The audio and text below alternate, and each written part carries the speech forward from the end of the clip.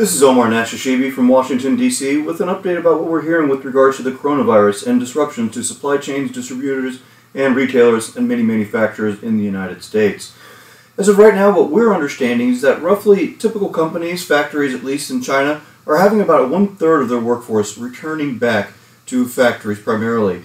Our understanding is many of those workers that are being permitted to return are largely local ones that did not travel throughout the country for the previous holidays in January and therefore they're being what we call the ones that are most accessible to be able to come back and get back to work and ramp up production.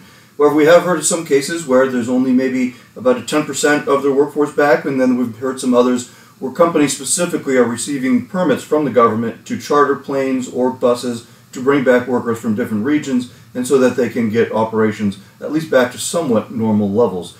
Our understanding also is from the trucker side. If you do have products that are being exported to China or being moved around, many of the truck drivers themselves are subject to a two week quarantine once they make a delivery. This also adds significant delays in terms of who's able to move goods and what, and what time that it's going to take to do so. We've heard stories about perishable items from pork and beef sitting on docks with no one to transport them to their final destination. This could also cause some really slowdowns with regards to the United States and China when they reached a Phase 1 agreement, whereby China agreed to increase their purchases of U.S. exports by $200 billion over the next two years. Among those goods, there are over $32 billion worth of agricultural goods, $77 billion worth of machinery, and other manufacturing components and finished goods as well. So we do see some disruption certainly occurring both directions with those imports coming from China to the United States and the goods that we've manufactured and produced that were part of the phase one deal, and hopefully the Chinese were supposed to be starting some of those purchases now. Again, some delays there. We did hear a report recently in the last few days that a typical container coming from China is only about 30% full when it comes here into the United States. That means that there's still a significant downturn in terms of the amount of trade moving back and forth, and we expect that to continue. Frankly, we also think that the worst is yet to come. In many cases, when you're looking at freight over uh, shipped by sea, that could take upwards of 30 days, especially if the item is coming into the, the east coast of the United States from China. So many of those goods that were already on the water have been delivered, but we are seeing a slowdown, not to a trickle level, but it's a case by case, we definitely are seeing a slowdown of importation of items that are coming into the U.S. that is causing a delay and disruptions. We've heard certainly from General Motors and some other automotive companies that they are seeing some challenges because of their factories not being up and running in China, and they've been forced to look at other sources to prevent any major disruptions on their assembly lines. Similarly, our understanding is the electronics industry in particular is getting hit quite hard with phone makers themselves. We've all heard the stories about Apple. We also understand that is going much beyond just the phone makers because many of the electronic inputs coming from China.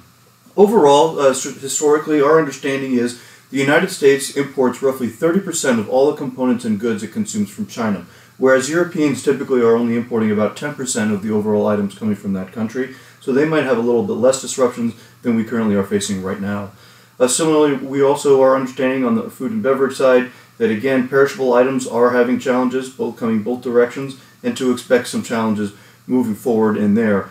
Uh, construction also is another industry. While many over the last year and a half have sought other choices beyond bringing in materials from China due to the tariffs that were imposed by President Trump, so some might have mitigated some of their exposure, but our understanding that we should expect some delays in construction projects, which should cause particular harm to an industry which often has to outlay a lot of its cash flow and is waiting on next stages of the project to advance before an additional payment. Well, if they can't secure the building materials, it's going to make it quite difficult for them to be able to begin and continue the construction projects on the timelines that they had previously promised.